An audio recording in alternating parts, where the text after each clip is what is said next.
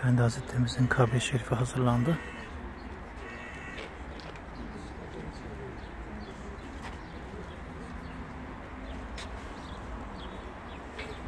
Hemen eşinin yanına, yan tarafta Cübbeli Ahmet Hoca'nın bu taraf.